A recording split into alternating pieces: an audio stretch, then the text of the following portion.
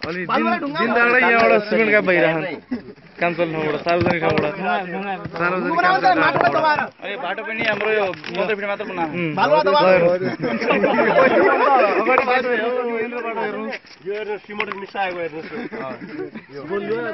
कर्णालीको बालुवा भनेर रोडा खोलाको बालुवा लिएर यस्तो भइरहेको छ। अगाडि अगाडि चार सुताको स्टोभेल सरिया छ तिन सुताको हालेको छ तिन सुता। सरिया पनि अगाडि चार सुताको स्टोभेट आइरहेको छ त्यसमा तिन सुता मात्र सरिहालेको छ। अनि बाटोको?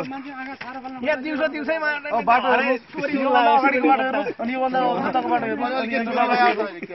अनि सिमेन्ट।